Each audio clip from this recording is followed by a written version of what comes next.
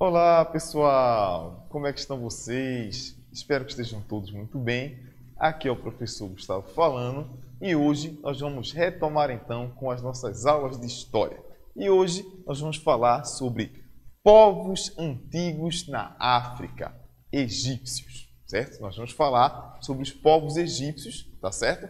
Que são a população, é um povo da antiguidade clássica que se desenvolveu ali é, na África, tá certo? Muitas pessoas não consideram, não, não lembram, mas o antigo Egito, né, que a gente vê nos filmes, ele é uma população, foram, foram, povos que se desenvolveram ali na África, tá certo? E é exatamente este povo que nós vamos estudar na aula de hoje. Estão prontos para a aula? Vamos lá então? Vamos lá.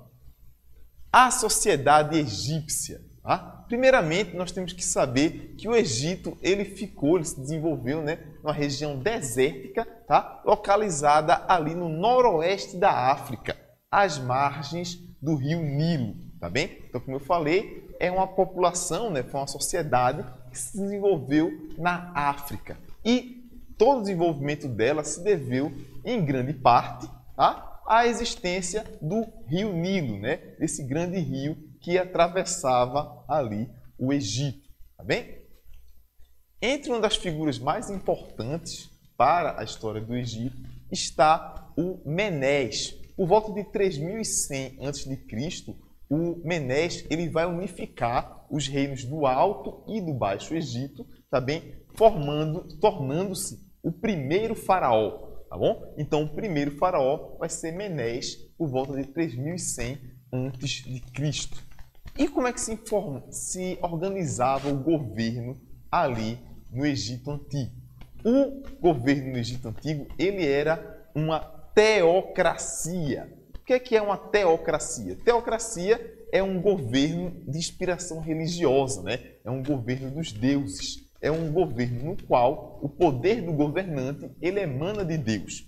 No caso do Egito, nós vimos aqui que o faraó, né, ele era o governante, né, Menes foi o primeiro faraó, e ele era considerado um deus vivo, tá certo? Então, quem governava o Egito antigo era o faraó e ele era o próprio Deus vivo. Então, por isso, o Egito era uma teocracia. Além do faraó, você tinha também os sacerdotes, que eles detinham conhecimento sobre matemática, escrita, sobre a religião. Você tinha os escribas, tá? os escribas eram aquelas pessoas responsáveis por escrever os documentos, anotar os impostos, fazer inscrições também é, em monumentos, tá certo? Abaixo desses, você tinha os camponeses, que eram chamados de felá. A maioria dos trabalhadores, tá certo? No Egito Antigo, eram camponeses, certo? Então, eram, a maioria da população eram esses trabalhadores camponeses, que eram trabalhadores livres. Abaixo, na parte mais baixa da sociedade, você tinha os escravos, tá certo? que não tinham liberdade, mas eram em número muito pequeno, tá bom? Como eu falei, a maioria dos trabalhadores eram camponeses, eram homens livres. Você tinha poucos trabalhadores escravizados. Ok, pessoal? Vamos continuar então a aula? Vamos lá. Religião no Egito Antigo. Né? Como já falamos aqui, você tinha um governo que era um governo dos deuses, né? era uma teocracia. Então a religião tinha um fator muito importante tá certo? Os egípcios, eles eram politeístas, ou seja, eles acreditavam em vários deuses, né? Então eles tinham o deus Anubis, tinham Osíris, tinham diversos deuses em quais eles acreditavam, tá certo? Eles também é, acreditavam no antroposomorfismo. Que palavra grande! E o que, é que ela significa? Ela significava que eles acreditavam em deuses certo? Que eles tinham o formato de animais e também tinham o formato de seres humanos, tá certo? E podiam às vezes misturar essas duas coisas, misturar um deus ter cabeça, por exemplo, de chacal e ter o corpo de um homem. Então isso era antroposomorfismo. OK?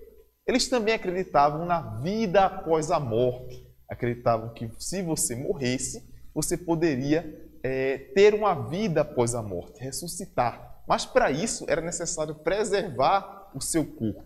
Tá? E como é que você preservava o corpo da pessoa? Por meio da mumificação, certo? Vocês já devem ter visto nos filmes aí de terror as múmias, não é? Então, no Egito Antigo, você fazia um processo no qual você retirava os órgãos internos das pessoas depois que elas morriam, você passava é, óleos e perfumes e enfaixava o corpo das pessoas depois que elas morriam.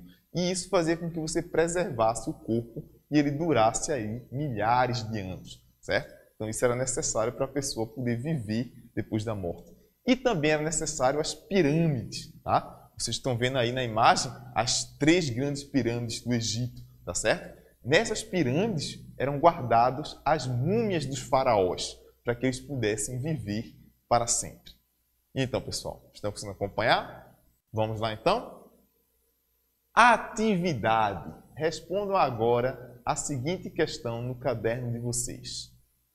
Como era a religião no Egito Antigo? Nós vimos aqui vários aspectos da religião no Egito Antigo. Então, eu quero que vocês me falem aí como é que era essa religião no Egito Antigo. Respondam aí no caderno de vocês. Nós nos vemos na próxima aula. Fiquem com Deus e um abraço